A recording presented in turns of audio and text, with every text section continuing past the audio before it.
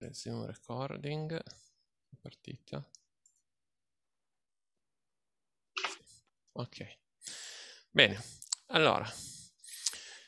Eh, possiamo iniziare questa mattina. Allora parliamo ehm, nella prima parte della mattina di Forms, che sono ovviamente un elemento estremamente importante nelle applicazioni perché ci consentono di interagire con l'utente e ricevere input strutturato da parte dell'utente, per esempio campi di testo, quindi l'utente che scrive qualcosa nell'applicazione, piuttosto che seleziona elementi, click, eccetera. Il click diciamo in parte l'abbiamo già visto, ma ehm, con, gli, con, gli, elementi del form riusciamo ad avere un input più complesso del semplice click o dell'interazione puntuale.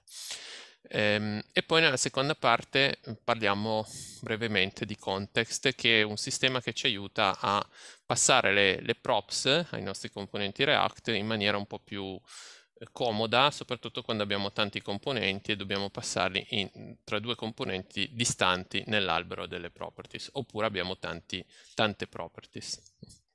Ok, però concentriamoci per prima sui form perché l'aspetto sicuramente più importante che sicuramente sarà presente all'esame. eh, quindi ci sarà sicuramente da fare qualcosa con i form perché altrimenti diciamo, l'applicazione diventa estremamente banale. Dunque, eh, allora sappiamo che i forms sono presenti in HTML già da eh, praticamente prime versioni, no? I, I, forms HTML diciamo così nativi e sappiamo anche che hanno una serie di limitazioni, nel senso che sono inconsistenti. Ehm, per esempio se voi prendete dei controlli ehm, eh, un po' particolari come per esempio la text area, quella che ci consente di scrivere il testo su più righe, quindi grosso, una grossa casella dove possiamo scrivere, non si può andare a prendere il valore con il punto value, cioè non ha un attributo value. Eh, oppure l'on-censure radio button non funziona e così via. Quindi tutti comportamenti che avrebbero potuto essere migliori, più consistenti tra i vari tipi di controlli del form, anche non sono così. E questa è una conseguenza, diciamo, della storia, del fatto che fondamentalmente i form sono stati pensati 30 anni fa, se non di più, e, e, e, e quindi sono evoluti con l'evoluzione dell'HTML e non si pensava che si arrivasse ad usarli in cose complicate come le applicazioni web. Um, nel momento in cui si va a usare un, um, un framework, e questo framework si è fatto bene come React, cerca di estrarci un po' da tutti questi problemi, sia di compatibilità tra i browser, ma anche interni agli stessi browser derivanti dal, eh, dall'eredità del passato, quindi appunto da questi comportamenti dei form tipici dell'HTML standard. Quindi eh, React ci espone un'interfaccia molto più uniforme, eh, ci virtualizza gli eventi, quindi ci dà degli eventi sintetici che quindi diciamo in qualche maniera poi si mappano con qualche sua logica sul, eh, sugli eventi nativi che possono essere non sempre gli stessi, però noi li vediamo come fossero sempre gli stessi e quindi questo ci facilita molto nella programmazione. Ehm, quindi in JSX che è diciamo, la versione HTML virtuale che ci fornisce React, che è quella che scriviamo nelle nostre applicazioni, eh, abbiamo una serie di caratteristiche consistenti tra tutti i controlli del form che ehm, sono quelle che andiamo a descrivere adesso. Prima di tutto c'è sempre un attributo value che contiene il valore corrente del campo. Quindi anche se la text area, anche se sono i, i radio button, eccetera, anche se sono controlli complicati, c'è sempre lì dentro il valore del current value. Ovviamente dipende poi dal tipo di controllo quale sarà il valore, no? però eh, possiamo sempre riferirci al valore in quella maniera il default value è quello che ci dice come compare il controllo all'inizio. E questo si applica a, tutte, a tutti i vari controlli, quindi ci astraiamo da, quelle, eh, da quei meccanismi dell'HTML che dobbiamo invece conoscere nel momento in cui scrivessimo HTML puro, cosa che non facciamo più usando React. Ok, um, ecco, uh, eventi sui forum, a noi interessa in particolare l'evento on change, vedremo, perché ehm, forse c'è qualcuno che deve mettere il microfono in muto. È un po' difficile da trovare. Eh, vediamo se riesco a trovarlo io. No. Ok, cosa è stato messo? Ok, ehm, quindi ehm, dicevamo dell'evento onChange, eh, perché? Perché nel momento in cui cambia qualcosa in un form vedremo che abbiamo mh, ehm, una modalità particolare di gestire i forms in React che deve riportare ciò che è cambiato all'interno del form quindi sulla pagina del browser, nel, nel, nel controllo del form vero in, nel DOM, dentro uno stato di React. No? E per far ciò usiamo questo evento onChange, cioè non appena qualcosa cambia nel form noi reagiamo e ci aggiorniamo il nostro stato. Questa sarà la modalità eh, diciamo più comune con la quale andremo ad utilizzare i controlli HTML in React. Eh, non è l'unica, ma eh, vedremo che è la più adeguata alla logica di funzionamento di React e quindi eh, sicuramente andiamo a provare a, a, a, usarla in questa maniera e tra l'altro ci porta anche una serie di vantaggi perché reagendo ogni volta che cambia qualcosa nei form siamo anche in grado di determinare il comportamento in maniera abbastanza eh, fine. Quindi, passando una funzione all'onChange, eh, diciamo, agganciamo gli eventi di cambio del, del form e quindi ogni volta che cambia il value eh, veniamo richiamati con la funzione che abbiamo passato all'onChange.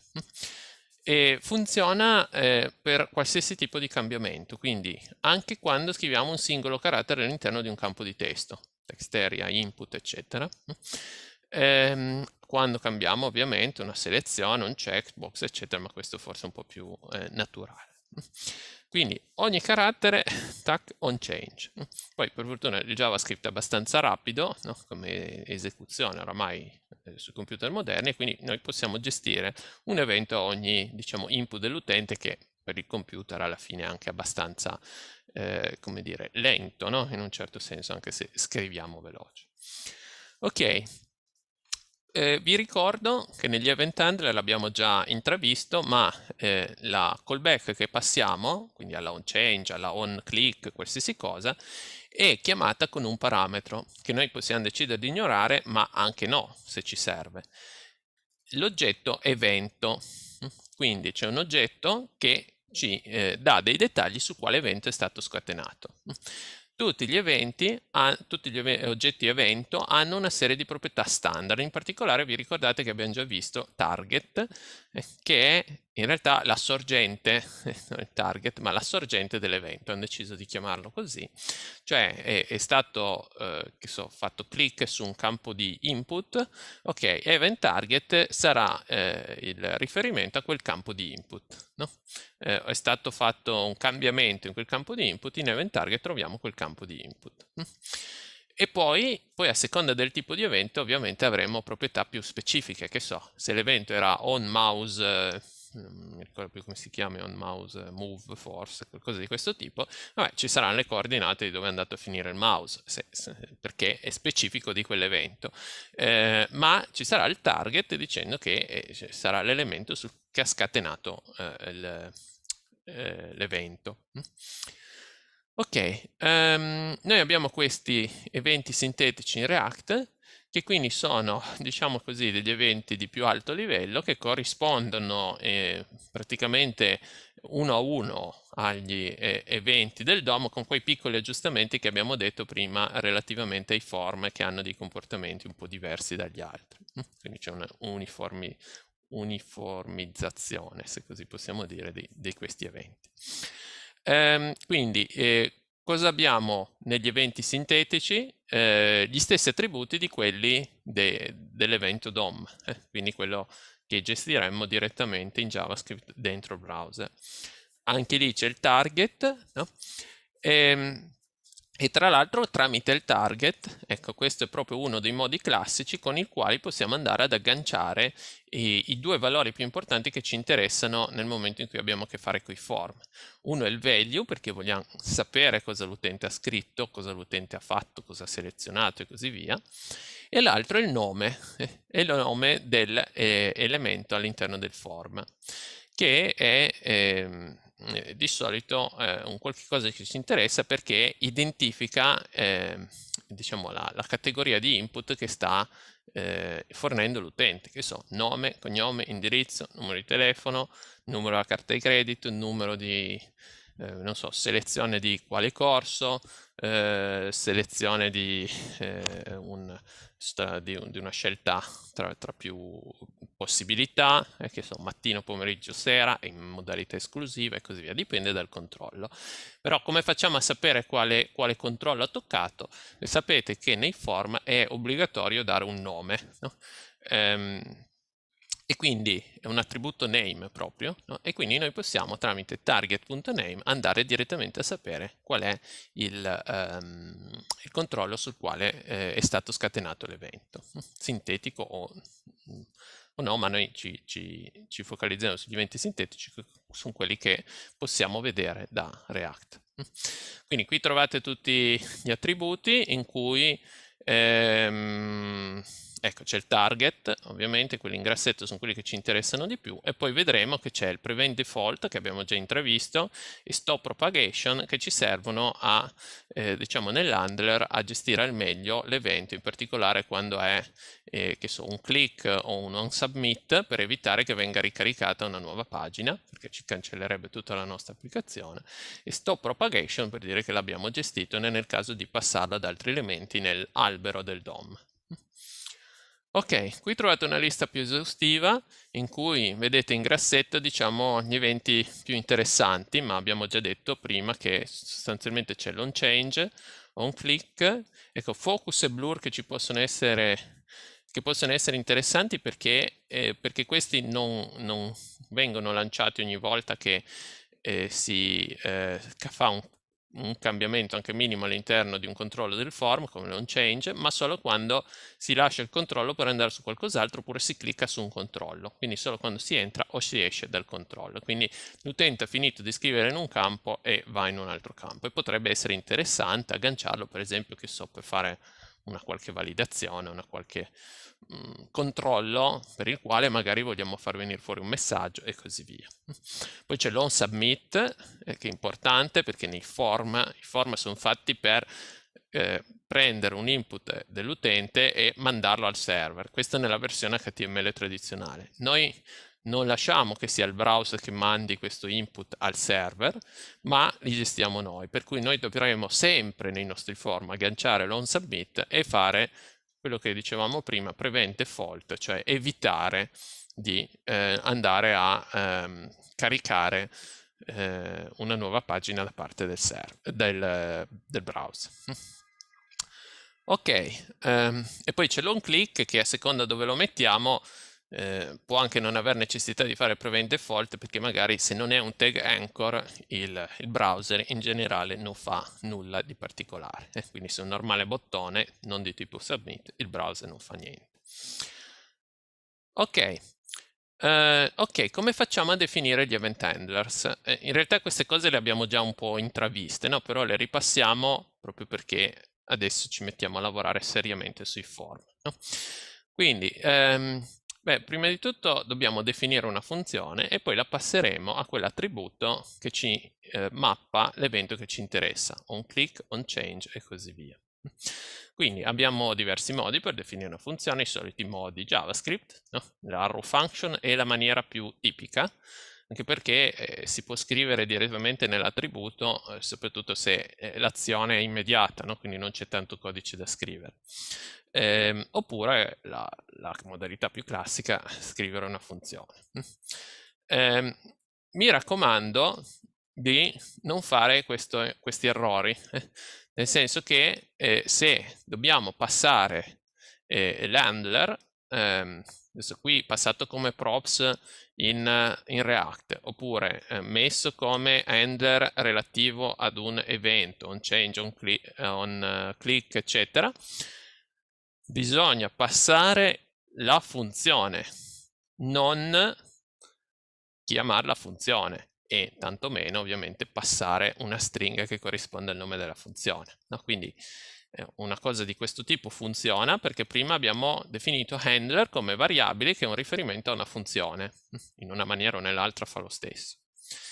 Ma se noi la passiamo con la parentesi tonde, questo è sbagliato perché eh, ehm, perché lì la stiamo chiamando, cioè questa è un'espressione JavaScript, viene valutata, quindi si chiama la, la funzione handler, quindi si esegue e poi si prende il valore di ritorno e si passa come eh, properties, che ovviamente non è quello che vogliamo. Eh, ancora peggio, ovviamente, il eh, passare una stringa, no? Questo è proprio, eh, non ha alcun senso, perché qui stiamo passando una stringa che non c'entra assolutamente niente con la funzione. Eh, quindi occhio, non chiamarla funzione. Questo è proprio uno degli errori tipici eh, che magari ogni tanto ci fa dire, ma perché non viene chiamato il nostro handler? Beh, perché in realtà l'ho chiamato, ma nel momento in cui lo passavo, non, non gli do una funzione che viene chiamata dal browser o comunque da React quando ne ho bisogno. Ok, e quindi come faccio nel momento in cui devo passare dei parametri? Perché se non posso aprire parentesi tonde, no? E scriverci dei parametri, magari il mio handler prende dei parametri, no? Questa è una funzione che ho fatto io, poi eh, andrà a, eventualmente a chiamare qualcos'altro.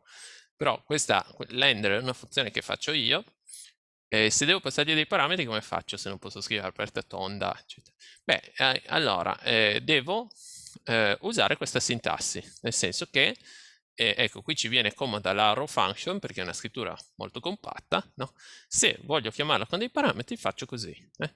prendo la, eh, la eh, cioè passo una, una funzione che è tutta questa espressione, scritta sotto forma di arrow function. In questo caso è una funzione che non prende nulla come parametro e che poi chiamerà la mia, il mio handler, come voglio io, quindi con i parametri, senza parametri, però questa è una funzione, cioè all'interno del, delle graffe ho una espressione JavaScript che valuta, viene valutata come una funzione. Eh, questo funziona, nel senso che è quello che voglio. Io voglio passare una, eh, un'espressione che sia una funzione, che possa essere richiamata, cioè voglio passare una callback. Eh, se voglio qui posso mettere event, perché abbiamo detto che in realtà quando vado su, sugli, sugli eventi, qui mi viene passato event. Se non metto nulla lo ignoro perché so già che nel mio handler non serve, altrimenti lo metterò e poi se serve lo passerò al mio handler. Ok? Ovviamente nel caso più semplice, se non ho niente da passare, viene automaticamente passato e quindi eh, se volessi usarlo, qui dovrei mettere un parametro event e poi dovrei usarlo nel mio codice. Stessa cosa qui nel mio codice. Vediamo poi nell'esempio stamattina eh, come, come, fare queste cose. Ok, bene, ah, quindi abbiamo fatto la premessa di come gestire l'evento. Eh, questo in realtà è un discorso generale finora che vale sia per i form sia eh, per gli eventi in generale, quindi l'on click su qualsiasi cosa funziona nella stessa maniera. Adesso andiamo a parlare un po' più specificatamente dei form. Um, quindi eh, abbiamo ragionato l'altra volta sulla questione dello stato. Chi tiene lo stato in React? No? Cos'è lo stato? È un qualcosa che bisogna ricordare eh, tra un render e l'altro del componente, no? a differenza delle properties che ci vengono tutte le volte passate. Eh, quindi nel momento in cui abbiamo un form che può, che, possono, che può contenere dei controlli che hanno dei valori, è chiaro che questi valori sono per forza uno stato, perché tra un render e l'altro devono mantenere il valore. Cioè io, eh, l'utente scrive qualcosa in un campo di testo e se React vuole eh, fare il re-render di quel campo di testo, eh, non è che mi può far sparire il contenuto perché altrimenti non riesco a fare nulla. Eh, devo mantenere l'informazione e quindi questo è uno stato. E quindi tutti gli elementi del form sono per forza stateful, cioè hanno uno stato per definizione, perché è quello che l'utente vuole selezionare, vuole scrivere, vuole fare con quel controllo. No? Però in React il problema è che sono i componenti che devono mantenere lo stato, non gli elementi in HTML. Eh? E quindi eh, se voglio far funzionare tutto bene con React, il risultato è che React deve sapere qual è il valore da inserire nell'elemento del form quando deve fare il render del form e degli vari elementi dei controlli del form. E quindi il risultato è che se voglio implementare dei form con la filosofia di React, devo andare a ehm, eh, agganciare eh, eh, tutte le volte l'evento di quando cambia tutte le volte qualcosa all'interno di un qualsiasi controllo del form. E questo lo faccio con quell'evento che dicevamo prima che è onChange. Tutte le volte che cambia qualcosa sul controllo del form, io devo notificare React, cioè devo eseguire una callback che mi vada a impostare da qualche parte in React il valore nuovo, quindi il fatto che l'utente ha scritto un, carattere in più piuttosto che ha fatto un'altra selezione e così via, così che all'eventuale prossimo re-render di React ehm, il valore corretto venga mostrato all'interno del form. Ok? Tra l'altro il re-render capiterà automaticamente perché se io mantengo l'informazione dentro uno stato e questo stato eh, viene usato per dare il valore al controllo del form, è chiaro che tutte le volte che vado a modificarlo, ah, React automaticamente mi, ehm, mi aggiorna mi fa il render del controllo del form. Ok, quindi abbiamo questa questione dello stato. In React lo stato deve essere gestito dal componente e se ho dei form, quindi tutte le volte che nei form cambia qualcosa, devo andare a notificare React. React nel senso il codice che ho scritto io nel componente che scrivo io, eh, che fa parte però della filosofia React, è un componente React. Ok, la questione è a questo punto, mi potrei chiedere perché devo tenere l'informazione eh, dentro il mio stato quando in realtà una sorgente di informazione c'è già ed è il controllo del form. Cioè i form esistevano anche prima che esistesse React. Nel DOM io posso manipolare, mantenere l'informazione presente all'interno del controllo del form, che è il campo di testo. E non è che ho bisogno di agganciare del JavaScript per far funzionare un campo di testo. Voi scrivete input type uguale text in un qualsiasi documento HTML senza nessun JavaScript e funziona tutto. Però la questione è dove mantengo l'informazione. No? Eh, diciamo che nel momento in cui faccio, come vi ho appena detto, cioè eh, non scrivo nessun JavaScript, non faccio niente, lascio fare tutto al, eh, al browser, quindi controlla il, eh, il, comportamento di tutti gli elementi della pagina, nel momento in cui c'è un form, l'informazione è la sorgente della verità, cioè eh, il, il, posto dove c'è l'informazione autorevole su cosa c'è dentro il form è il controllo stesso del form, cioè l'HTML. Ne, ehm, e questi sono i cosiddetti componenti uncontrolled, nel senso che eh, diciamo sono quelli fatti a vecchia maniera, eh, prima di, di usare l'approccio tipo React che invece vuole mantenerlo nello stato, oppure eventuali componenti molto particolari di tipo read-only dove io non posso impostare il valore, come per esempio selezione di file. Ma questo diciamo è un caso un po' particolare. Eh, la questione è che tutti i componenti prima di diciamo, usare una filosofia come quella di React eh, sono loro che mantengono l'informazione di stato, cioè eh, io posso sempre andare a fare punto value di quello che c'è nel controllo del form, campo di testo, piuttosto che il, il um, eh, la text area, piuttosto che le varie selezioni, eccetera, mi viene detto cos'è che è selezionato in quel momento, cosa c'è scritto in quel momento. Però questo si discosta un po' dalla filosofia di React, che è quella che tutto lo stato dell'applicazione va mantenuto nei componenti. No? Quindi la filosofia React è questa qui a sinistra componenti controlled, controllati, potremmo dire controllati da React. No? Quando il componente React mantiene nel suo stato il valore da mostrare nell'elemento del form. Questo lo chiamiamo controlled component, cioè componente controllato. Ed è la maniera preferibile da utilizzare quando abbiamo i form in React. Ovviamente c'è da scrivere un pochettino di codice, però diciamo che questa è la cosa che si integra meglio con la filosofia React, che è quella di avere l'informazione dentro il componente e poi sulla base di qual è l'informazione decidere di fare re-render quando necessario. Ok, vediamo stamattina appunto un esempio proprio di come fare questo e poi lunedì in laboratorio dovrete provare a fare questa cosa sempre con la solita applicazione dove avete cosa sono i task eh, per raggiungere un nuovo task due caselle o tre caselle non mi ricordo più di, di, di testo ehm, in cui l'utente può scrivere qualcosa e, e poi bisogna aggiungerlo all'array dei task Ok, quindi questo è lo schema di funzionamento dei controller components, secondo la filosofia React. Cioè, io qui ho il componente che ha uno stato che creiamo come siamo abituati a fare, come abbiamo visto l'altra volta, useState, eh, x, quindi la variabile che contiene l'informazione, e set x, che è quello che mi consente di cambiarne il valore. Um, e sulla base di questa informazione io creo il controllo, cioè l'elemento del form. Eh, e come faccio? Beh, farò, creerò l'elemento come, come, mi pare, direttamente con minore input, eh, oppure usando i, i, i, form di React Bootstrap, insomma, i componenti React Bootstrap, faccio come voglio, l'importante è che metto come value non come default value, eh, mi raccomando, ma come value, cioè il valore corrente, il valore del, dello stato. Ok?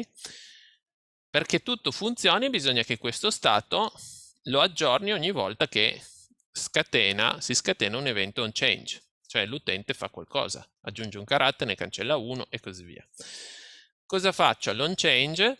Bene, all'on change prendo l'evento e faccio il set, quindi nello stato, di event target value, no? E qui vedete la comodità di avere l'event target, che così posso andare a recuperare direttamente il, il riferimento all'elemento del form e poi faccio punto value direttamente il valore e lo imposto in x. Questo fare set del, dello stato fa sì che React scateni il render e ricreerà il nuovo elemento del form con il nuovo valore. Quindi l'utente in realtà non vede nulla, ma io ho eh, intercettato quello che lui ha fatto e quello che lui ha fatto viene aggiornato ma tramite questo giro, non direttamente come succederebbe se non ci fosse nessun JavaScript. Il vantaggio di fare questo giro è che io ho in X sempre il valore aggiornato di quello che c'è in eh, value in visualizzazione all'utente. Mi raccomando, questo significa anche che devo agganciare l'onChange e passare changeX, eh, che è l'handler che mi sono creato io per aggiornare lo stato. Quindi eh, non basta passare solo il value aggiornato, ma tutte le volte bisogna passare sul onChange la funzione che deve essere richiamata per fare questo giro. Quindi in parole povere possiamo dire che il componente controllato è ehm, diciamo componente in cui il JavaScript eh, imposta il valore e poi aggancia l'onChange per poter fare questo giro e quindi mantenere l'informazione nello stato. Qual è l'alternativa? Ah no, c'è l'esempio, eh, c'è poi l'alternativa dove invece non si fa questo giro, ma appunto dicevamo è la versione uncontrolled che tra l'altro non, non, racconteremo eh, perché non va a fare eh, diciamo l'aggiornamento secondo appunto eh, la gestione secondo la filosofia React. Se noi usiamo un framework ci interessa mantenere eh, cioè attenerci più possibile al, alle modalità di programmazione previste dal framework, perché altrimenti non eh, cioè, traiamo poca utilità dall'usare un framework. C'è una domanda, bene così interrompiamo un attimo tutto questo lungo discorso. In questo caso il nuovo valore dipende dal vecchio ad esempio, se nel form ho scritto ciao e poi aggiungo una O, il ciao dipende dalla stringa ciao di prima.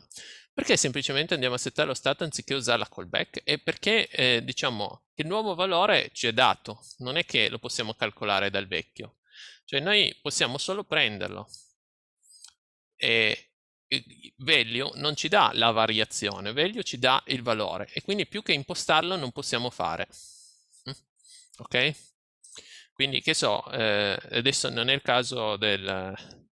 Ehm, sì, eh, supponiamo che so, della selezione da una lista.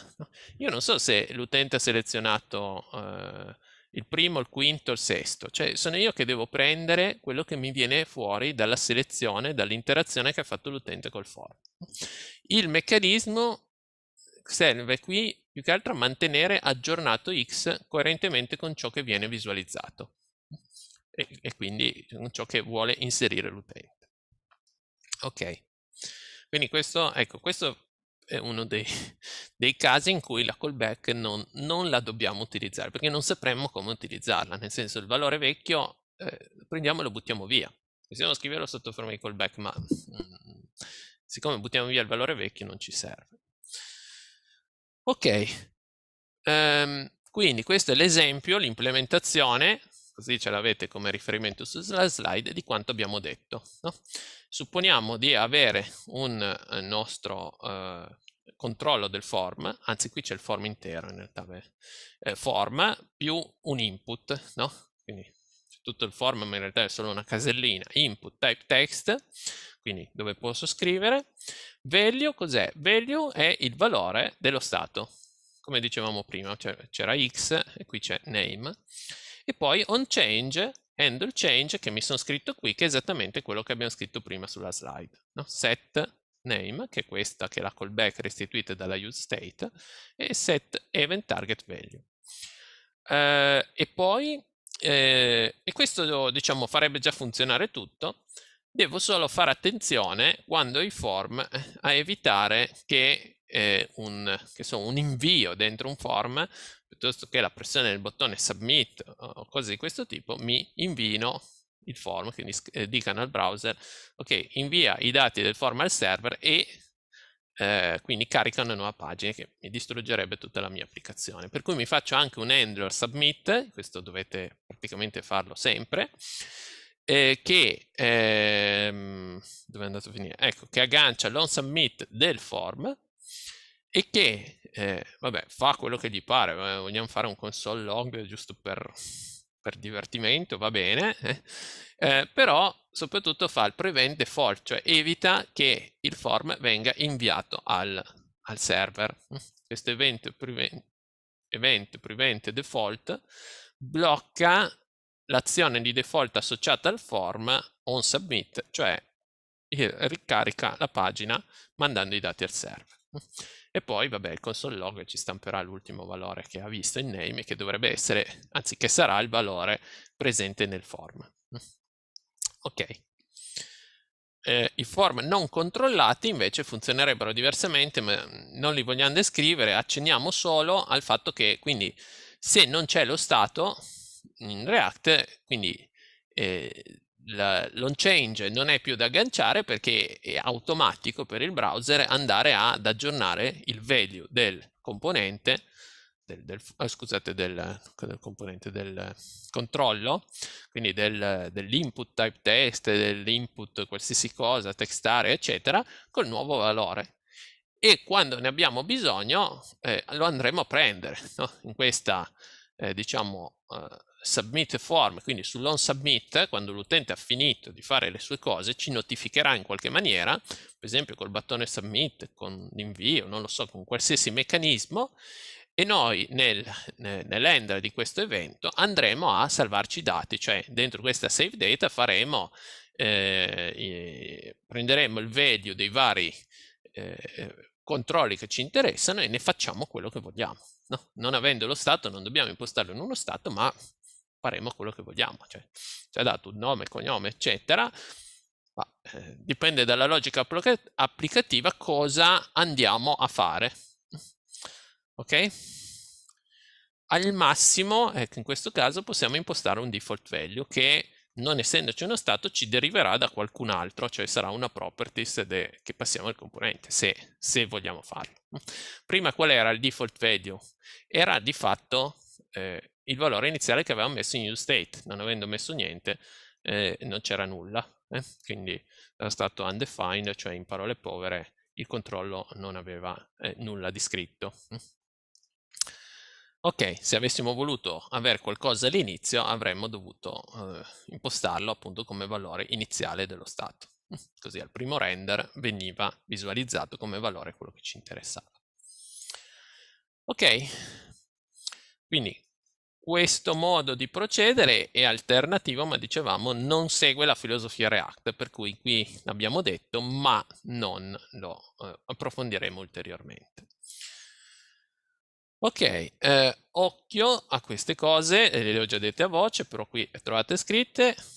Un form genera ad un certo punto un evento submit, quindi eh, in qualche maniera col bottone di submit, con un invio da qualche parte, eccetera, noi dobbiamo sempre, sempre, sempre, sempre chiamare event prevent default nella handler di onSubmit per evitare la sottomissione, altrimenti ci ricarica la pagina e la nostra applicazione single page application è finita, eh, perché perde tutto e ricominciamo da capo, ricarichiamo tutto il JavaScript e tutto e no, non, non vogliamo far funzionare l'applicazione così.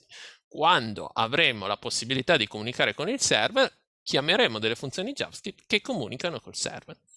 Se questi dati vanno sul server, possiamo farlo, ma lo faremo noi, programmando noi questo comportamento. Ok, um, ecco, prima di andare avanti, ovviamente ad un certo punto sarebbe bene validare i contenuti del form.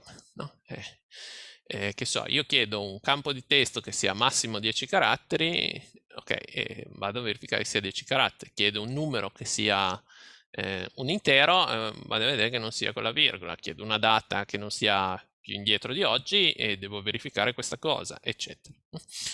In parte posso delegare questi comportamenti ai form HTML5 che hanno degli attributi che mi consentono di, diciamo, di eh, verificare questo comportamento, ma devo fare attenzione.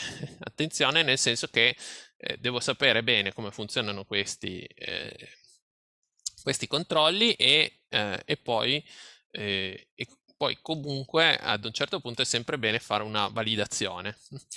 Eh, esistono tanti modi di fare la validazione. Il primo modo ovviamente è di fare tutto a mano, cioè io quando ricevo l'on submit ho nello stato l'informazione di tutto il contenuto di tutti i controlli del form che mi interessano, faccio i miei conti.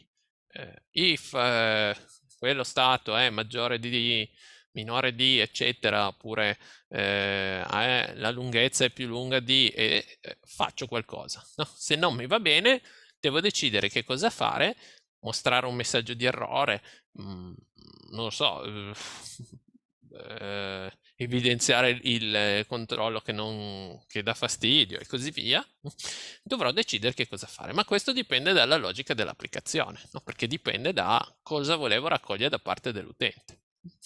Esistono delle librerie che ci possono aiutare a fare questo lavoro. Noi qui le accenniamo ma non le vedremo. Eh, c'è questo validator che funziona tra l'altro interessante perché funzionerà sia lato client sia lato server, cioè si potrà anche usare sul lato server eh, per fare la validazione lato server, che è un altro punto dove poi ne abbiamo necessità. Oppure esistono librerie anche un po' più sofisticate, come per esempio questa Formic, che consigliamo, ma mm, più che altro nel momento in cui doveste fare dei form complicati, perché per fare due controlli all'inizio, soprattutto all'inizio, è meglio provare a mano come andiamo a fare adesso noi. Eh, però è anche vero che realizzare dei form con i componenti controlled è abbastanza noioso, no? perché il meccanismo è, è complicato No? Cioè io devo avere una variabile di stato, devo sempre fare il render con i due attributi, devo farmi l'handler e così via. Questo per ogni controllo del form. Nome, cognome, indirizzo, numero di telefono, eh, eccetera. No? Pensate, se ce ne sono tanti, la faccenda diventa un po' eh, noiosa e complicata e può, può, condurre ad errori. Per cui esistono delle librerie che, diciamo, con una qualche meccanismo descrittivo ci consentono di realizzare i form e fanno diciamo questa implementazione per noi ehm, eh, eh, senza ecco una libreria dovrebbe però cercare di non astrarre troppo no? consentendoci quindi di ehm, accedere ai valori del form per esempio se ne avessimo bisogno senza usare una sintassi un meccanismo troppo complicato noi abbiamo consigliato questo perché ci sembrava abbastanza ragionevole in questo senso. Um, ok, quindi um, ecco, tra l'altro in generale queste librerie includono anche dei meccanismi di validazione e così via, quindi diciamo in parte ci aiutano non solo per scrivere quei, quei, quei um, quegli handler per gestire lo stato in React del, eh, del valore del, del, controllo nel form, ma anche per fare tutto il meccanismo di validazione, eccetera, eccetera, e magari fornire anche dei messaggi esplicativi all'utente sul componente, su, sul, sul, controllo del form e così via. Ok, eh, direi che... Ah no, scusate, c'è ancora un pezzettino, è giusto, importante questo. Um, e poi andiamo a provare in, in pratica. Eh, piccola appendice su quello che abbiamo visto l'altra volta sullo stato, no? Perché? Perché nel momento in cui poi dobbiamo aggiornare lo stato eh, eh con per esempio i dati che ci arrivano da un form, eh, dobbiamo fare degli aggiornamenti dello stato un po' più complicati di quelli che abbiamo visto l'altra volta, dove fondamentalmente erano dei set di un qualche valore eh, ehm, di, di, un elemento semplice, quindi un boolean, una string, eccetera. No? Diciamo che noi raccogliamo delle informazioni col form, eh, che so, eh, nel, nel, laboratorio prenderete un nuovo task, noi qui proviamo con quell'esempio degli esami, eh, prenderemo il voto di un nuovo esame, ma non solo il voto, il nome dell'esame, la data, il voto, eccetera, e vogliamo aggiungerlo ad un altro stato, no? che è lo stato che mantiene che so, il contenuto della tabella, della lista, dei task, degli esami e così via. No? E quindi cosa facciamo? Beh, abbiamo deciso dove mantenere lo stato, che è la lista di quello che ci interessa visualizzare, faremo set qualcosa, no? il nome della variabile che mantiene quello stato, che tipicamente è un oggetto complicato, no? complicato nel senso che ho un oggetto JavaScript o un array JavaScript. Ehm, diamo un'occhiata a quello che è necessario fare in queste funzioni per farle funzionare correttamente quando abbiamo degli oggetti complicati, cosa che abbiamo lasciato un po' in sospeso dall'altra volta. No? Eh, tutte le funzioni che impostano lo stato, quindi anche incluse le callback di, eh, che React ci dà ehm, tramite gli hooks della useState, richiedono per funzionare che quando abbiamo oggetti complessi si passi un nuovo oggetto. Okay? Quindi un array si deve passare un nuovo array, e un oggetto si deve passare il riferimento a un nuovo oggetto. Okay? Non basta prendere nell'array e cambiare un elemento dell'array perché il riferimento all'array rimane lo stesso. Vi ricordate all'inizio quando abbiamo parlato di JavaScript? Avevamo quel sistema, come si chiama? Eh, Python Tutor, ma in realtà per, per, per, il JavaScript, ci faceva il disegnino con le frecce quali erano i riferimenti all'array. Bene, noi non possiamo andare con, nello stesso array, dobbiamo cambiare il riferimento. La variabile può restare la stessa, ma il riferimento cambia. Quindi in realtà, siccome la variabile è il parametro che passiamo alla set, non c'è la stessa variabile, però dobbiamo cambiare il riferimento, che vuol dire che se c'è un array dobbiamo creare un nuovo array, se c'è un oggetto dobbiamo creare un nuovo oggetto. Ovviamente se c'è della roba che resta, dobbiamo riportare nel nuovo array, il nuovo oggetto, la roba vecchia. No? Però per far capire a React che qualcosa è cambiato, React va a vedere se il riferimento è uguale a quello di prima. No? E questo vale sia al primo livello, quindi a livello del parametro della set, ma anche ai livelli interni. Quindi se noi abbiamo un array di oggetti e abbiamo cambiato un oggetto, dobbiamo cambiare il riferimento all'array, quindi creare un nuovo array e poi per quell'oggetto che abbiamo cambiato, magari solo una proprietà di quell'oggetto, dobbiamo creare comunque un nuovo oggetto. Ok? Se invece sono stringhe, numeri, eccetera, vabbè, questo è più immediato perché, perché cambiando il valore lì automaticamente cambia riferimento, perché non c'è un riferimento per le stringhe boolean e i, eh, i numeri. Um, nel caso in cui aggiungiamo una cosa è, è, facile perché prima non esisteva e quindi è chiaro che il riferimento è nuovo. No? Però nel caso di modifica eh, eh, eh, può essere un po' più, ehm, come dire, ehm, bisogna fare più attenzione. No? Quindi andiamo a vedere eh, tre o quattro casi tipici di questo aggiornamento dello stato per sapere come gestirli correttamente. No? Quindi nel momento in cui abbiamo un nuovo, eh, ehm, un nuovo array, quindi eh, dobbiamo eh, cambiare il contenuto dello stato che è un array, dobbiamo sempre creare un nuovo array. Okay? Eh, ecco, e poi eh, se dipende dallo stato precedente usiamo una callback. No? E visto che eh, abbiamo imparato quelle funzioni eh, diciamo che ehm, sono in grado di creare un nuovo array a partire da un vecchio array, quindi la programmazione funzionale come l'abbiamo chiamata in JavaScript applicata agli array, usiamo quelle perché vanno benissimo e, e rendono il codice compatto, abbastanza leggibile e però ci garantiscono allo stesso tempo che venga creato un nuovo riferimento. No? Quindi casi tipici, voglio aggiungere, voglio rimuovere, voglio aggiornare qualcosa. Okay? Andiamo a vedere come implementarli. Aggiungiamo qualcosa in un array. No? Come si fa? Diciamo, noi abbiamo il nostro stato, list, eh, chiamiamolo list, list set list, use data, ci sarà un array, qui è un esempio teorico, no? cioè c'è un array, questo è un array di stringhe. Ok, eh, voglio aggiungere qualcosa, new item, una nuova stringa, come devo scrivere quello che scrivo dentro set list? Set list, quindi lo scrivo sotto forma di callback, la old list, cosa faccio? Return old list con cat col nuovo elemento, ok? Questo può essere sia una stringa, sia un numero, una qualsiasi cosa, eh, un nuovo oggetto, perché tanto è aggiunto, no? quindi per forza il reference è nuovo. Mi raccomando, allora, bisogna sapere, no? bisogna ricordarsi, ma imparato una volta si sa, che la concat non agisce sul vecchio array, ritorna un nuovo array. Ok? Quindi qui abbiamo risolto il problema. Concat, mi raccomando, non push. Eh? Push modifica il vecchio array e in più ritorna il numero di elementi, non l'array. Quindi se io scrivessi old list, return old list push, è sbagliato per due motivi. Uno, perché ritorno un numero e non l'array, e due, ho modificato il vecchio array.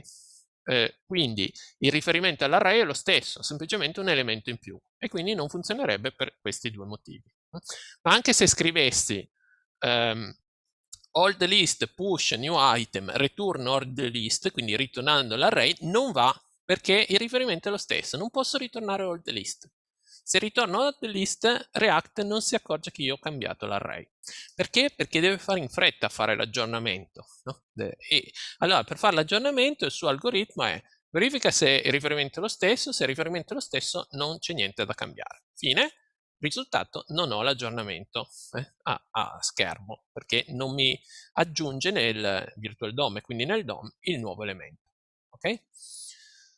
Ok, questa era l'aggiunta alla fine, no? con cat aggiunge alla fine. Se avessi bisogno di aggiungere all'inizio, bene, eh, come faccio? Beh, questa è una possibilità. No?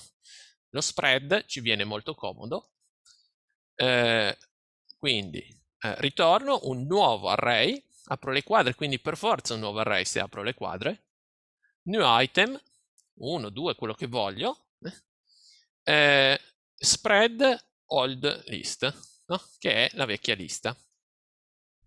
Questa è l'aggiunta all'inizio. Questo è il modo più semplice per eh, implementare l'aggiunta all'inizio, se ho bisogno dell'aggiunta all'inizio. Ok, veniamo all'aggiornamento. Ecco, questo è un po' più critico, eh, perché l'aggiornamento, allora, va bene, e devo trovare un modo di dare un nuovo eh, riferimento all'array e va bene, basta che lo copio, no? banalmente, ma in realtà devo anche cambiare qualcosa. Allora, come faccio a cambiare qualcosa? Eh, beh, eh, diciamo che potrei scorrere tutto l'array e quando ho bisogno inserire qualcosa di nuovo. No? Qual è la funzione che mi consente di fare questo? La map. Mi raccomando, eh, c'è chi eh, ha l'idea di usare la for each. Eh, la for each non, non, è tanto adeguata a questo caso perché, perché la for each ho una callback che viene richiamata su ogni elemento, ma non è che mi automaticamente crea un nuovo array. Quindi io dovrei prima creare un nuovo array, poi farò una for each. Eh, in una for each in cui faccio push nel nuovo array eh, eh, del vecchio elemento se non lo devo cambiare, oppure con un if, un qualcosa, cambiare il nuovo elemento. No? Eh, questo approccio non mi piace perché prima di tutto abbiamo una funzione più semplice che fa la stessa cosa e secondo eh, stiamo passando una callback a un for each che ha un side effect che non è la fine del mondo eh, però visto che la for each l'abbiamo visto in un contesto di programmazione funzionale avere dei side effect quindi modificare un array al di fuori eh, di quello che si sta scorrendo non è il massimo ok? Quindi non è impossibile farlo con la for each, ma bisogna farlo con molta attenzione e poi non, non, non è bello eh, per, questo, per questo motivo. Invece, se abbiamo una map, abbiamo il vecchio array, quindi in questo caso 11, 42, 32, map, eseguiamo la callback dentro la map per ogni valore, eh, eh, quindi per ogni elemento dell'array. possiamo prendere non solo l'elemento ma anche l'indice. Non vi ricordate che questo callback prende due, due valori, eh? in realtà tre anche, eh, c'è anche l'array, ma in questo caso non ci serve. Ehm, perché l'indice? Perché magari ho bisogno di andare a fare una modifica in una certa posizione, data dall'indice nell'array, e quindi ci può venire comodo. No? I è l'indice dell'elemento da aggiornare, quindi se i j uguale a i, allora boh, eh, ritorno il nuovo elemento, diciamo che volevo sommare 1 all'elemento i, esimo. No? Quindi supponiamo che i fosse 2, 0, 1, 2, il 32, diciamo avrò 33. Però io qui posso fare qualsiasi cosa, ritornare un oggetto, ritornare quello di cui ho bisogno. L'importante è che sia nuovo, sia un nuovo oggetto, eh? se è un oggetto, se è un array, se è un qualsiasi cosa, che sia nuovo, nuovo riferimento. Altrimenti, altrimenti beh, il riferimento può rimanere lo stesso, quindi l'item, pertanto se non è cambiato, React va benissimo che rimanga il vecchio riferimento. Quindi, set old list, ok, eh, set old list freccia, quindi questo è il vecchio stato, nuovo stato, const list, eccetera, return list. In realtà avrei potuto scrivere anche direttamente return oldlist.map eh, oppure freccia eh, oldlist.map. No, beh no, in realtà devo mettere return perché eh, se no il valore dell'espressione, sì, ma il valore dell'espressione dovrebbe andare, no? quindi deve essere il riferimento al nuovo eh, oggetto, al nuovo array. Ok, quindi questo è il modo di aggiornare. Eh, ecco, quando degli oggetti, occhio, no? Facciamo un esempio più complicato, id3 valore foo, id5 valore bar, eh, map condizione qualsiasi per determinare qual è l'oggetto che devo andare a cambiare, return nuovo oggetto, aperta graffa, nuovo oggetto, eh? Id, due punti, item id, val, val uguale nuovo valore. Qui posso scriverci quello che voglio, a seconda di cosa devo fare, cosa devo aggiornare. Se devo copiare tutto il vecchio oggetto, potrei fare, come ho scritto su Slack a un vostro collega, che so, item assign, no, um, object assign, aperta graffa, chiusa graffa, quindi un oggetto vuoto, assegno il vecchio oggetto, quindi ci copio tutte le proprietà, ma l'oggetto è nuovo, perché è aperta chiusa graffa, e poi ci sovrascrivo le proprietà di cui ho bisogno. Oppure posso fare, usare la sintassi con lo spread, eh, che funziona anche per gli oggetti, insomma, qualsiasi cosa però che si crei un nuovo oggetto. Ok? Quindi la stessa sintassi di prima, ma si crea un nuovo oggetto. Fare così è sbagliato, infatti l'abbiamo messo in, in grigetto pallido, cioè non posso semplicemente prendere l'item e aggiornarci il valore, return item. Cioè tecnicamente, solo per JavaScript, io ho ho fatto la modifica. Il problema è React in questo caso, non è JavaScript. L'array è aggiornato, ha un nuovo valore nell'oggetto, ma il problema è che l'oggetto è lo stesso di prima. No? Quindi il riferimento all'oggetto è lo stesso di prima, è cambiato una sua proprietà. E così finisce che React non se ne accorge e non ci fa l'aggiornamento. Ok? Mi raccomando, quindi questo è sbagliato. Eh, C'è una domanda, fare un qualcosa di simile ehm, a vettore i uguale nuovo valore return vettore è considerato un brutto approccio. Um, vettore i nuovo valore eh, return vettore. Ehm, diciamo che no però eh, nel momento in cui eh, alla fine Mm, no, alla fine, alla fine fa la stessa cosa dell'altro sistema, però occhio che se il nuovo valore è un oggetto, questo problema di cui stiamo parlando qui resta. Eh? Il nuovo valore deve essere un nuovo oggetto. Se è un numero, un, un come si dice, un, uh, una string, un boolean, eccetera, va bene. Se è un oggetto, un qualcosa che contiene qualcosa di più complicato, uh, vale lo stesso discorso. Però return aperta quadra ritorna un nuovo array, quindi eh, si può fare. Una domanda più tecnica, cosa succede al vecchio riferimento? Sì, eh, JS JavaScript è una sorta di garbage collector, sì sì, non è una sorta ma c'è proprio. E sì, ehm, sarà un riferimento a, a qualcosa che non è più presente in alcuna variabile, non è più in nessuna closure e eh, il risultato è che prima o poi il garbage collector eh, lo, lo, libera. Ok? Quindi sì, eh, non lo abbiamo mai detto perché in realtà con JavaScript il problema diciamo, del, della gestione della memoria è minore perché, perché, le applicazioni web hanno un tempo di vita limitato. No? Nel momento in cui ricaricate una pagina, ricaricate tutta l'applicazione web, quella deve ricaricarsi tutto lo stato, per esempio da un server, eccetera, e la memoria è completamente reinizializzata. Però sì, eh, se fosse un'applicazione più complicata con tante, tante variabili, tanto uso della memoria, eccetera, sì, c'è il garbage collector e, e butterà via il riferimento al vecchio oggetto, prima o poi. Ok, ultimo caso, eh, e poi eh, passiamo all'esempio. Rimuovere elementi in un array. Bene, eh, allora, eh, se conosciamo l'indice o comunque una condizione per, ehm, eh, per andare a determinare eh, gli elementi da rimuovere, bene, abbiamo la filter, la filter ritorna un nuovo array, abbiamo già risolto il nuovo problema, no? Return old list, la vecchia lista, punto filter, che in realtà crea una nuova lista, un nuovo array, e dia dobbiamo solo dare una condizione che se vera fa sì che il vecchio riferimento venga messo nell'array, se nuova, eh, cioè se, se, falsa non viene messo. No? Eh, quindi se i diverso da j è vera e quindi viene messo, altrimenti se i uguale a j non viene messo. E così rimuovo un elemento a un certo indice. Che sia un, un valore immediato, sia un oggetto, sia un riferimento, non mi interessa, tanto questa volta togliendolo il problema non si pone, al massimo si pone quello che ha detto il vostro collega, cioè ehm, quando, dove va a finire, prima o poi verrà deallocato, ci pensa JavaScript.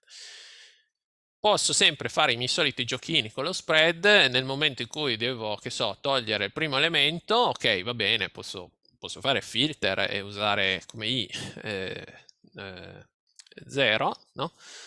Altrimenti posso fare i miei giochini con lo spread no? e quindi fare l'assegnamento a sinistra e quindi eh, fa, di fatto questo crea un nuovo array in cui escludiamo un elemento. Non perché ho scritto first ma perché c'è una variabile. Se io avessi scritto a, b, c escludevo tre variabili all'inizio. Eh, ritorna il nu la nuovo array creato. Quindi tutti i giochini, diciamo così, con lo spread e con le funzioni, filter, map che avete imparato all'inizio, che non a caso abbiamo diciamo, visto, non solo per giocare con gli array, ci tornano molto utili per scrivere questo genere di codice. Ok, quindi se ci sono dubbi io monitoro sempre Slack, anche se ogni tanto non sono proprio immediato. Eh. Eh, Ultima slide e poi proviamo a fare qualcosa, proprio in pratica.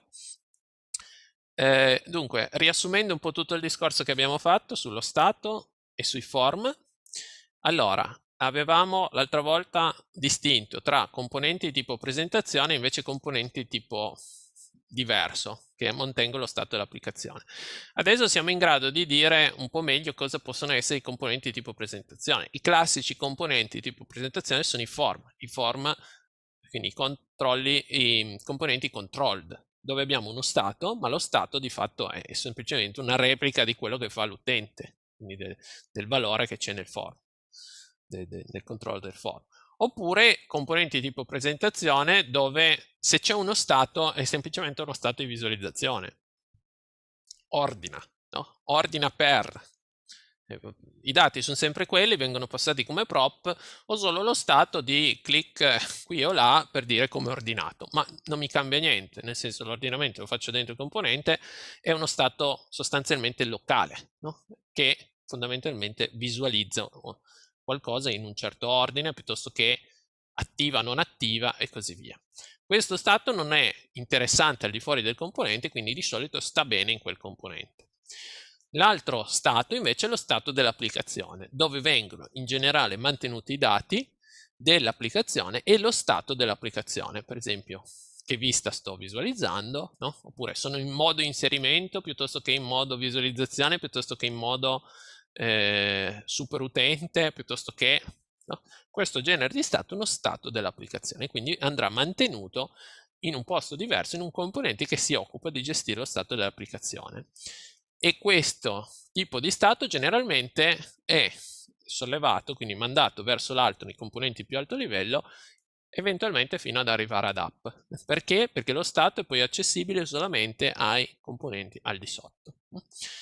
Mi raccomando, cerchiamo assolutamente di evitare la duplicazione dello stato, perché è solo foriera di problemi. No? Ma come, come, in qualsiasi sistema di programmazione, no? cioè se, se, voi modificate la stessa variabile in due posti diversi del codice, eh, ok, la stessa variabile va bene, ma se ne fate una copia e, e, la modificate, poi non sapete più se è allineata con il valore originale. Cioè deve esserci la mm, cosiddetta single source of truth, cioè singola sorgente di verità, un unico posto dove c'è il valore corretto di quello che vi interessa. E questo in React vale soprattutto per lo stato. No? Io ho visto all'esame, eh, all'esame, vabbè, anche, non all'esame, diciamo anche durante il laboratorio, eccetera, degli studenti che magari avevano lo stato nell'applicazione e poi, che so, si facevano una copia de, della, de, de, so, dei task, degli esami, della lista degli esami, eccetera, in un componente che visualizzava la tabella. Non si deve fare la copia dello stato, perché se no finisco per avere uno stato duplicato e poi finirà che quando voglio aggiornare qualcosa aggiorno quello sbagliato, oppure finisce che lo stato copiato non si aggiorna quando aggiorno lo stato che è quello dove vorrei mantenere la sorgente della verità, cioè l'originale. Perché? Perché sono due variabili che mantengono la stessa cosa. No? È come fare la, la cache, no? la copia temporanea di uno stato. Sapete che uno dei problemi eh, più difficili nell'informatica è l'invalidazione della cache. Eh? È una specie di barzelletta ma ha la sua verità, nel senso che mantenere cose allineate è difficilissimo, c'è il rischio di sbagliarsi eh, molto molto facilmente. Quindi manteniamo l'informazione solo in un unico posto. Nello stato decidiamo dove metterlo e se c'è necessità sì, si fa il lifting, cioè si porta in su fino eventualmente all'applicazione, all'app però che ci sia un unico posto. Eh, perché questo eh, ci semplifica tutto il resto. Eventualmente se c'è bisogno si passa no? con le props, oppure come vedremo nella seconda ora e mezza si passa poi con il meccanismo del context, eh, che rende un po' più facile la distribuzione dell'informazione.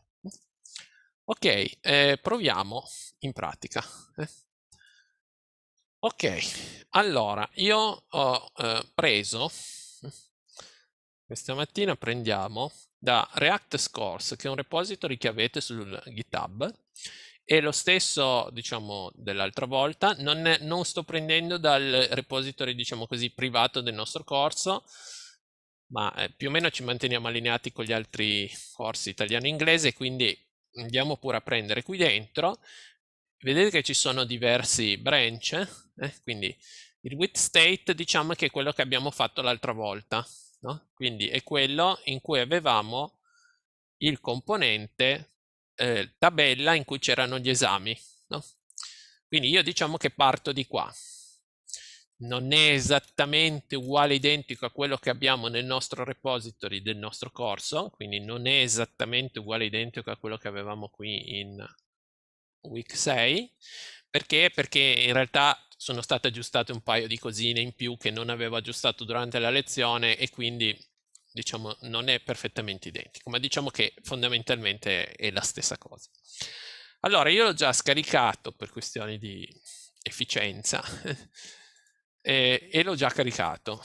Eh, quindi ehm, il risultato finale, ecco vi posso ancora dire questo, che il risultato finale, indipendentemente da quanto riusciremo a fare, è già presente in React Scores nel branch with form. No? Quindi adesso aggiungiamo un form a quell'esempietto e poi ci sarà il with context, non so se riusciremo a farlo anche eh, durante la lezione, comunque avete quello che in realtà è riportato nelle slide, quindi è l'esempio della slide che poi solo semplicemente riportato direttamente in qualcosa che potete subito provare. Quindi ehm, andiamo a vedere in uh, Visual Studio Code, quindi questo è il progetto, eh, che appunto trovate in eh, with state, quindi partiamo da quello. Eh, prima di tutto ve lo faccio vedere, quindi io ho già fatto l'npm install eccetera, faccio npm start. Adesso mi aprirà, Spero, sì, ecco il browser, così avete ben chiaro da dove parto. Partiamo, anzi, ci va come sempre un attimino. Ecco, gli esami, vi ricordate, l'altra volta avevamo implementato la funzionalità della cancellazione, no? fondamentalmente questo. I, i controlli, i, come si chiamano i controlli? Componenti. Non ci spuntano fuori perché? Eh, ricarichiamo la pagina. Eh, vabbè, diciamo che questa estensione forse bisogna aggiornarla, non, forse non è perfetta, comunque insomma avevamo il nostro exam scores, exam table, no? una exam table che aveva uno stato, no? Perché avevamo deciso di mantenere lo stato in exam table eh? e, e, che sono i quattro corsi. No? Poi avevamo le row che erano composte dal dato e dai controlli, no? Vedete, dato e controlli. Ok, ehm, quindi in exam table c'è lo stato, nel momento in cui faccia sparire qualcosa lo stato viene aggiornato, eh, avete visto, è sparito qualcosa, riproviamo e sparisce qualcosa. Ok, quindi questo è il nostro punto di partenza. Adesso noi vorremmo metterci un bel bottone qui, dire aggiungi un esame. Aggiungi un esame, quindi creiamo, schiacciamo il bottone, un form in cui scriviamo qualcosa e poi va a finire in questa lista, quindi aggiorniamo lo stato della tabella. Ok, quindi ehm, come facciamo? Allora, io eh, dunque sono in exam components, quindi qui c'è la nostra uh, componente, no, questa tabella, exam table, quello che abbiamo visto prima, no? a cui viene passata l'inizializzazione, quindi per ora non abbiamo il server, quindi abbiamo queste variabili costanti, anzi queste costanti che, che sono due array, no? la lista di esami e la lista di corsi, passiamo uh, come properties, le inizializziamo nello stato, eh, in exams, qui usiamo solo exams, il resto lo usiamo per calcolarci il nome del corso, ma niente di particolare. Avevamo implementato la delete exam con set exams, ecco vi faccio notare adesso, mi raccomando, filter, eh, che è il modo che abbiamo visto prima. Ma quando togliamo qualcosa è abbastanza facile, l'unica cosa è che non possiamo semplicemente fare eh, prendere il vecchio array, andarlo a modificare, togliergli un pezzettino e lasciarlo così. Dobbiamo ritornare un nuovo array, ma la filter lo fa automaticamente per noi. Se non lo facciamo così, mi raccomando, c'è il rischio che React non aggiorni la visualizzazione. Purtroppo dico rischio e non certezza perché dipende dall'implementazione di React. Eh? E, ehm, però è, è sbagliato. È sbagliato perché React ci richiede esplicitamente questa cosa, di cambiare il reference, perché così si accorge che c'è qualcosa da ri-renderizzare, da rifare render. E poi c'è la tabella, va bene, add body, nel body c'è una map che prende la lista degli esami e crea gli elementi, exam row, no? Negli exam row c'è il dato e ci sono i controlli che erano l'icona di edit, che in realtà non fa niente perché non abbiamo agganciato niente, e il delete. L'edit è un po' più difficile. Eh? Cominciamo con l'aggiunta. Eh, come facciamo? Allora, io direi che prima di tutto eh, facciamo in modo di farci un, un componente che visualizzerà il form. Eh, quindi come sempre fatemi fare un po' di, di copia e incolla perché se no non finiamo più mm? e poi cerchiamo di evitare di, uh, di scrivere troppe cavolate eh, che poi vanno debuggate nel tempo sempre tiranno quindi function diamo un nome abbiamo, eh, qui abbiamo pensato exam form eh. i parametri cosa sono? sono le props eh. Eh, chiamiamolo props per, per riuscire a, ad avere sempre stessi nomi che ci facilitano la programmazione. Eh, e poi, beh, cominciamo con return, diciamo che facciamo un form. Qui potete decidere se farlo in HTML, se farlo con il, il React Bootstrap, insomma decidete un po' voi. Eh, L'importante è che diciamo, abbiamo un qualcosa che, che, che sia ragionevole. Eh? Ehm, ecco, eh, vi faccio... Ehm, cominciamo con un controllo più semplice. Eh, dunque, se andate a vedere come fa i form React Bootstrap, quindi React Bootstrap eh, Forms, eh, se volete usare questo approccio, questo è un approccio consigliabile ma non l'unico. Eh. Per ogni controllo bisogna creare un form group e poi facciamo una label e poi, quindi col nome, e poi il controllo vero e proprio, eh, tipo email, quindi il form control sarebbe sostanzialmente input in HTML. No? Quindi diciamo che cominciamo a fare un, un controllo, che so, per il voto, quindi C, eh, diciamo così, eh, facciamo un po' di, dunque,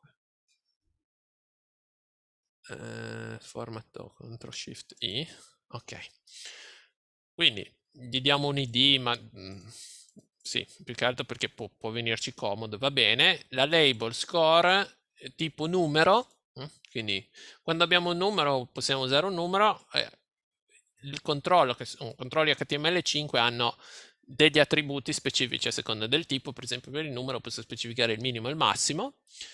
Ehm, ecco, poi commentiamo questa parte. Eh, andiamo solo a vedere che, che, faccia ha, però prima di vedere che faccia ha dobbiamo usarlo, no? Quindi eh, dobbiamo usarlo, quindi, um, quindi prima, eh, dunque lo mettiamo in fondo alla tabella, io direi, eh, come era stato fatto qui, sì. Um, diciamo che eh, facciamo un uh, exam form, cerco di non fare solo copia e incolla, se no eh, diciamo l'utilità diciamo, diventa limitata eh, di questi esercizi live. Gli passiamo i courses, eh, ma giusto per non dimenticarci perché vorremmo anche una lista di, di corsi no, da selezionare. Eh, direi che in questo momento forse basta. Eh. Ok, exam form, eh, sta props piegato per dopo. Exam form, props, props, value, in realtà c'è ancora lo score, lo vediamo da, dalla compilazione, score set score, ma perché? Perché questo è un controllo, no? E quindi nel momento in cui vogliamo fare il controllo, allora eh, lo facciamo, eh, facciamo un co controlled component, quindi manteniamo lo stato in React. E lo stato in React lo manteniamo facendo uno stato, eh, quindi Proviamo a scrivere il primo a mano, poi il resto possiamo fare copia e incolla, però almeno il primo, eh, solita maniera di, di scrivere il, um, lo stato con look, quindi score, score, set, score. Mi raccomando di chiamare le, le callback sempre col set, perché se no all'esame non ci capiamo più niente, il risultato è che eh, finisce che se non ci capiamo il voto, almeno il voto iniziale finisce che non è quello che vi aspettate. Ok, diciamo, mettiamo un valore iniziale, eh sì, mettiamo 30. Ok, va bene, quindi abbiamo fornito un score, set score, salviamo, faccio salva, CTRL S, va bene, altri warning che vabbè, roba non, non, usata perché in realtà ho cancellato dal, dalla fine, eh, dal, dal, risultato che avete già sul GitHub. Quindi abbiamo un controllo tipo number eh, 1831 il cui valore è lo stato e con la onChange cosa facciamo? Prendiamo l'evento set score event target value come abbiamo visto sulle slide. No? Set score è questa qui, è quella della use state. Quindi aggiorniamo lo stato. Andiamo a provarlo. Abbiamo fatto proprio il minimo, eh? il minimo per iniziare a provare qualcosa.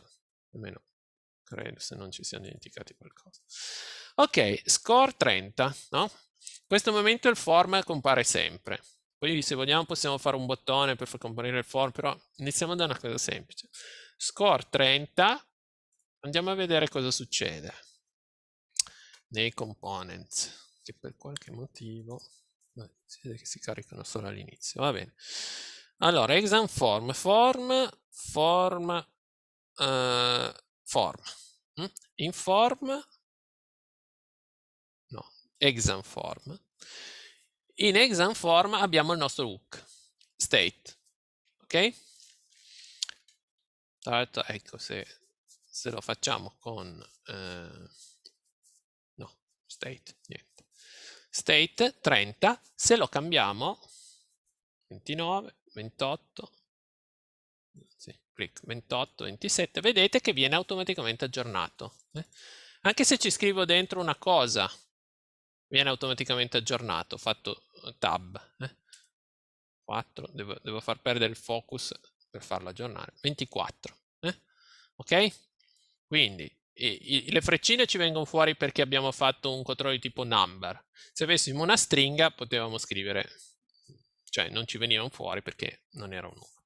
Però vedete che abbiamo un controllo di tipo controlled, eh, componente controlled. Chiamo controllo perché quelli del for si chiamano controlli, però diciamo un input eh, eh, di questo tipo. Ok, quindi siamo in grado di gestire il nostro primo controllo eh, del form con un controller component, cioè con lo stato che riflette quello che fa l'utente. Eh. Legale e illegale non cambia niente, nel senso che vabbè, viene rosso perché, perché se è al di fuori di quel range devo decidere cosa fare, dovrò andare a vedere su React Bootstrap cosa si può fare, ma non mi interessa in, maniera, in questo momento. Ok, quindi eh, nel caso non avessimo passato lo stato a value avremmo comunque visto la modifica del valore all'interno del form, giusto? No, no, no, non passiamo lo stato value, ok? Quindi facciamo così, eh, dunque, spero che si possa aprire il contesto JavaScript qui. Non si vedeva la modifica, perché React ci fa... No, non si può, esagerato un pochino. Ok, va bene. Um.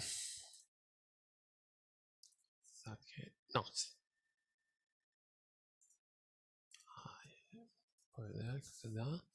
No, eh, vabbè, lo portiamo sotto. Lasciamolo lì. Ok, così funziona. Mettere, sapete che il JSX è un po' rognoso con i commenti. Vabbè, non posso commentare dentro un attributo cioè mentre devo mettere la lista di attributi. E cosa succede in questo caso? Eh, succede che eh,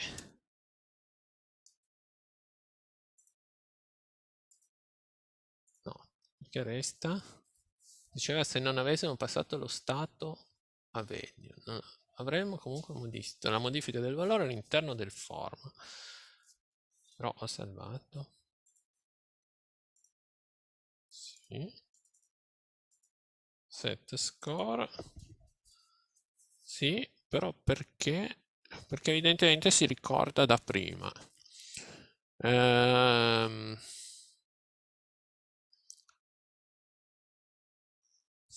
che non è bello ehm, mettiamoci default value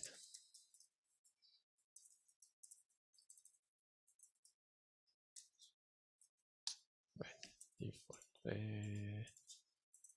value uguale 20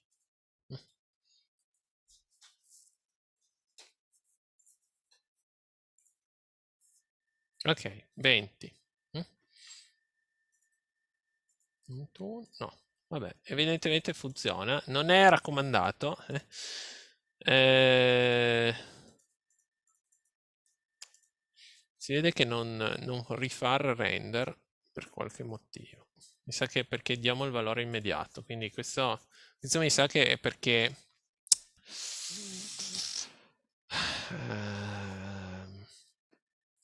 Non so perché, bisogna, bisogna che, che, guardi, non so se magari è il form di, di Bootstrap che si comporta in questa maniera.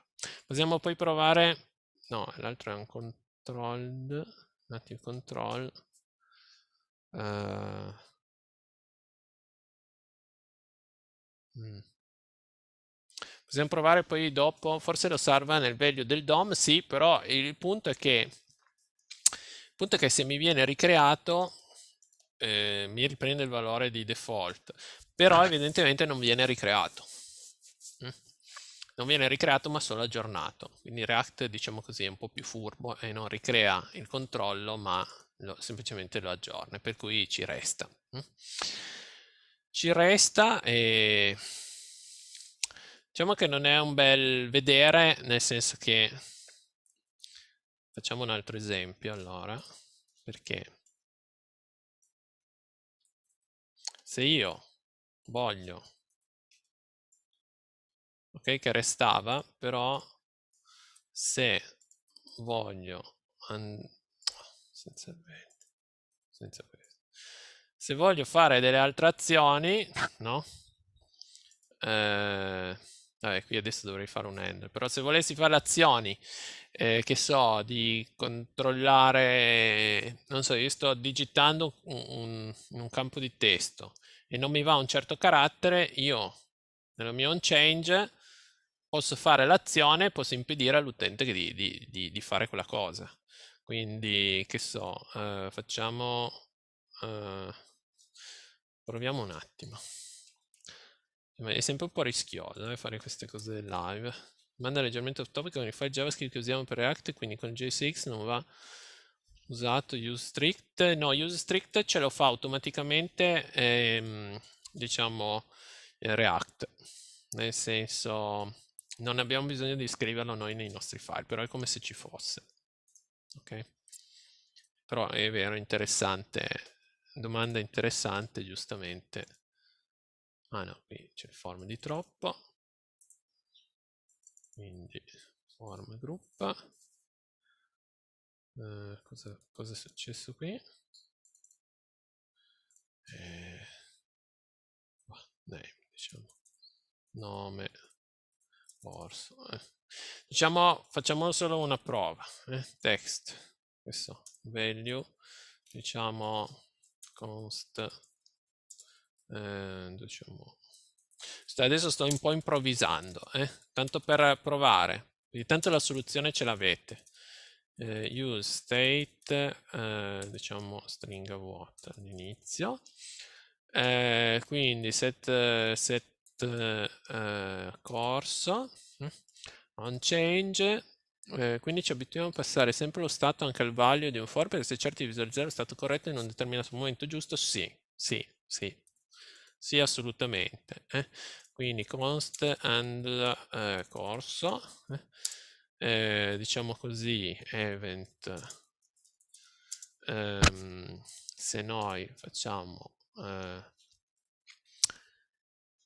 qui dentro facciamo il set corso have target value eh?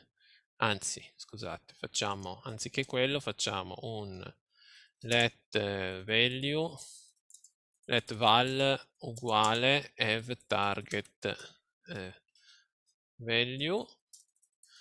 Eh, facciamo eh, val mi sembra cos'era? Uppercase. Onestamente non mi ricordo più. Forse. Spero sia quella. Set corso val no? impediamo di scrivere in minuscolo quindi qui have facciamo il nostro handle handle corso. Handle corso f. Ok? Adesso spero che sia tutto a posto. Sì. Ho scritto qualcosa che ha senso. Quindi avremo un secondo campo text che chiamiamo testo prova eh? giusto perché non è poi lo buttiamo via però eh, quindi handle corso c'è set corso val value val eh? no val corso è lo stato eh? quindi se facciamo set corso deve essere corso questo qui Ok, non fatevi spaventare da, da um, Visual Studio, ci mette un po' ad aggiornare tutto quanto, eh? ma dovrebbe essere a posto. Facciamo una prova. Allora, testo prova. Ciao, eh? io sto scrivendo. Adesso però ci manca qualcosa. Val upper is not a function. Ah, yeah. Allora, non mi ricordo più come si fanno le maiuscole. In nelle stringhe. Eh, dunque, eh, facciamo così tanto... Eh, dunque, JS string uppercase. Onestamente non mi viene in testa. Ah, ta, to uppercase. Ok, to uppercase. E ci returns the curly string converted. Ok, to uppercase. Perfetto. Ovviamente se uno non si ricorda queste cose non è una tragedia, appunto. apre, apre Google, apre qualcosa e prova. Eh? N mila linguaggi di programmazione, ognuno fa come vuole. Eh, dunque, MyExam. No, MyExam. Qui. Quindi ricarichiamo. Testo prova. Vedete, io sto scrivendo senza la maiuscola. Eh? Metto o tolgo la maiuscola. Io sto scrivendo con la minuscola e quello che compare è la maiuscola. Perché? Perché io, se sono io che decido qual è il value, ci faccio mettere nel form quello che mi pare. Poi vabbè, abbiamo scoperto che eh, diciamo anche se non l'ho imposto poi il controllo perlomeno quello React Bootstrap mantiene l'informazione del um, che, che, che, che, ha già al suo interno. Però potendolo fare io potendo gestirlo io posso andarlo a cambiare. Posso andarlo a lavorare direttamente mentre l'utente scrive No? Vi fanno scrivere il codice fiscale, lo scrivete in minuscolo, intanto voi gli fate il maiuscolo, senza che uno abbia il maiuscolo attivo. Ok? Quindi in questo senso ci servono i form e i controlli i component controlled perché così siamo in grado di gestire qualsiasi cosa stia succedendo nel form, diciamo così, in tempo reale. Eh? Uh, ok, quindi andiamo a... Eh, questo lo, lo buttiamo via. Eh, ce l'avete nella registrazione, ma niente di particolare, no? Abbiamo solo fatto, prendo il corso eh, e abbiamo modificato il valore al volo. Ok, quindi andiamo a farci il nostro form. Quindi io eh, butto via tutto il vecchio, faccio un'incolla, eh, che è lo stesso che avete sul, sul git. Quindi qui facciamo così. Lendo il corso non ci serve più. Adesso lo buttiamo via, ma lo... sì, buttiamolo via, perché sennò ci confonde solo le idee.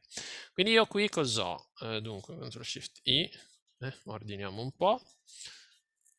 Fare to compare and submit, va bene, devo, dobbiamo ancora scriverla. Abbiamo un form con tre campi. Il corso, abbiamo lo score e la data. Eh? Quindi type, eh, no, questo è select, una lista, un numero che è quello di prima da cui abbiamo iniziato, un tipo data. Ok? Eh, andiamo a vederlo così ci rendiamo subito conto della cosa. Ah no, dobbiamo sistemare che non compila. Abbiamo ancora una cosa da sistemare che è l'handle submit. Dove è andato? On click, button on click, handle submit. Quindi dobbiamo scriverci la funzione handle submit, post handle submit, uguale ehm, event, qui l'event ci serve, eh? perché? Perché la prima cosa che vi ricordo di fare è event prevent, mi suggerisce? No, vabbè, default. Prima cosa da fare in un handle submit, soprattutto in un handle submit. E poi, poi, possiamo fare quello che ci pare, eh, aggiungere la lista all'esame, l'esame alla lista, anzi, vabbè, però almeno così compila vediamo il form. E il form è qui sotto. Eh. Quindi course con una lista, score con un valore e una data e se usiamo il controllo data eh, ci viene automaticamente fuori la possibilità di selezionare la data lo so che sono le 10, però se ce la fate io andrei avanti ancora un briciolino e cerchiamo di concludere questo esempio, eh, se no perdiamo il filo. E così poi nel, diciamo così, nella pausa eh, facciamo, come si dice, avete tempo di pensarci. Quindi io ho il form, ehm, quindi nell'end submit fondamentalmente devo andare ad aggiungere ad aggiungere a che cosa? Eh, al, eh, agli esami. No? E come faccio? Eh, qualcuno mi deve passare una funzione. Add exam. Eh. Quindi quando farò l'exam form qualcuno mi deve passare una funzione perché lo stato non è dentro exam form, è in un componente a livello superiore, quindi qualcuno mi deve dare eh, la callback da usare per aggiungere. Eh. Exam, ok, l'exam ce lo creiamo, facciamo const exam uguale E, e da dove arriva l'exam? Eh, l'exam arriva da, dai valori che abbiamo nei form, quindi fondamentalmente è lo stato. No? Quindi avevamo tre proprietà, course code sarà course, che è questa qui, eh? course, virgola, poi score è lo score, eh? quello che scrivo a sinistra è il nome del, della proprietà del, dell'oggetto eh, e quello che scrivo a destra è il valore. Date, date e qui l'abbiamo già sistemato col day.js, insomma bisogna solo fare un po' attenzione a queste cose, eh, essere coerenti con quello che abbiamo nell'array, no? nell'oggetto dell'array. Ok, add exam, ah, add exam mi sa che era già scritto da qualcuno, no, non era scritto, allora, eh, questo verrà trovato a runtime, non c'è, eh? quindi nel eh, exam gli abbiamo già passato i prop courses, eh, passiamogli un po' add exam uguale eh? e allora cosa mettiamo su add exam e add exam diciamo che eh, fondamentalmente passiamo una, una funzione che o ci scriviamo da parte o scriviamo direttamente qui se è breve proviamo a scriverla qui exam eh, fondamentalmente possiamo fare sì, vabbè, l'avevamo scritto qui. Eh, add exam eh, di quello che ci viene passato eh, e in questo momento basta. Eh. E poi c'era anche uno stato di visualizzazione del form. La exam cosa fa? Deve fare la set exams. Ecco, occhio che la set exams è uno stato, no? Dov'era? Qui sopra. E arriva dalla use state. Ad esame commentata in alto, sì, l'avevo commentata, questa è una normale funzione come quelle che abbiamo visto sulle slide. Modi manipoliamo un array, aggiungiamo un elemento. Come facciamo? Bene, questo è un modo, noi l'abbiamo visto per aggiungerlo all'inizio, potete aggiungercelo anche alla fine, no?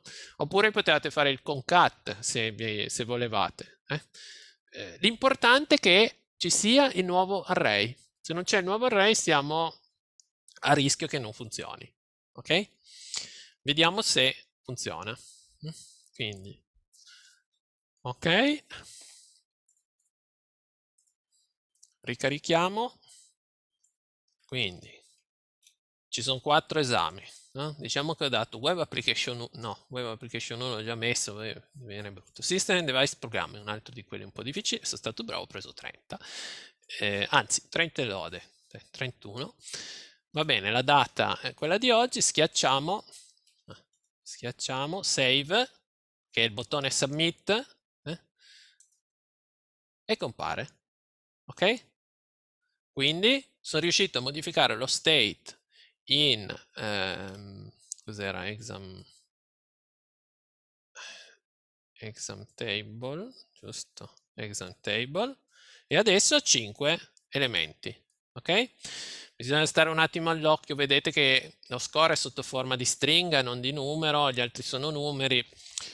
Bisogna, c'è bisogno di fare qualche piccolo aggiustamento, però fondamentalmente abbiamo fatto funzionare il form. Ok? Consentitemi di fare un'ultima cosa, poi facciamo la pausa promesso. Questo form facciamolo apparire e sparire al bisogno, cioè il cancello adesso non fa niente. Come facciamo a fare apparire e sparire qualcosa? È uno stato di visualizzazione. Eh? Mettiamolo dove serve. Eh? Eh, dov'è che serve? Eh, eh, fondamentalmente ci serve nel codice nel punto in cui eh, mettiamo questo exam form. No? Quindi potremmo mettere il tutto in un'espressione condizionale, quindi apriamo la graffa e chiudiamo la graffa e mettiamo un um, show form, punto interrogativo, se è vero sì, altrimenti, quindi due punti, ehm, altrimenti, cosa mettiamo? Niente, no? Ah no, eh, scusate, altrimenti un bottone, se no non possiamo più farlo comparire. Mm? Quindi ci mettiamo un bottone, button, ok? In cui mettiamo, vabbè, variant success se volete, ma questo, questo è il colore, eh? ma non fa niente. On click, on click, ah, scusa, non aperto, ok, graffe, on click, una callback. Mm? una callback che mi farà set show form true. Mi raccomando, tonde, eh? tonde freccia, perché se scrivo set show form direttamente, chiamo la funzione qui. True, ok. Eh, button, vabbè, lo chiamiamo add, va bene. Questo show form che cos'è? Questo qui è uno stato, quindi andiamo a crearcelo. Const ehm, show form, è uno stato di visualizzazione. Per React non è che lui fa distinzione tra gli stati di visualizzazione e gli stati dell'applicazione, però noi nella nostra testa, per noi è uno stato di visualizzazione, quindi questo non verrà mai spostato da examtable, l'altro se necessario potrebbe andare più in su, fino in app. Eh, set show form, use state, e dunque all'inizio è falso perché non vogliamo mostrarlo. No? Um, ok, fatemi vedere di non aver combinato pasticci nell'interesse solo di fare le cose in fretta. Sì, dovrebbe essere a posto. Quindi, ok, vedete che non c'è più il form. Eh? C'è un add.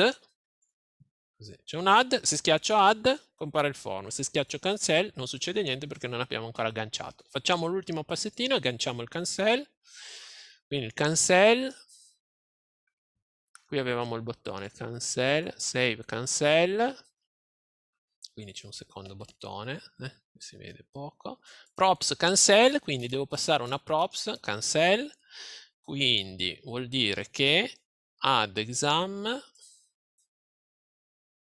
al di fuori, eh, devo fare cancel uguale e cosa devo metterci? Devo metterci una callback di nuovo no? che eh, mi cancella il, il, form, cioè mi setta lo stato. Eh, callback in cui possiamo direttamente fare set eh, show form false. Ok? Beh, in realtà no, il punto virgola non ci serve. Cancel, che lo segna, no, dovrebbe andare. Cancel, set show form false. Vediamo se c'è. Allora. Eh, qui c'è qualche graffa di troppo. Search form. Ah, l'add exam, ecco, era da chiudere qui. Voilà. Um, ok. Quindi ricarichiamo add cancel. Ok? E ovviamente c'è lo stato che l'abbiamo messo, eh, che è table, c'è finito in exam table, ci sono due stati, eh? uno i dati e l'altro il false, nel momento in cui facciamo add diventa true eh? e nel momento in cui facciamo cancel torna false. Ok? E React ci aggiorna la visualizzazione. Io direi che, ok, eh, no, c'è un git ho messo GitHub non c'entra niente. Direi che ehm, facciamo pausa adesso e dopo ancora due parole sui form uncontrolled, ma giusto così per esempio perché lo trovate nelle, nell'esempio sul GitHub e poi continuiamo col context. Intanto se avete dubbi o domande ovviamente scrivete pure su Slack. Eh, io come sempre chiudo la registrazione così in cloud comincia a processare e, ehm, e poi riapro subito, quindi potete subito ricollegarvi solo 30 secondi di pazienza, forse meno. Ok, va bene, allora eh, fermiamo uh, qui, diciamo end e poi riapro subito.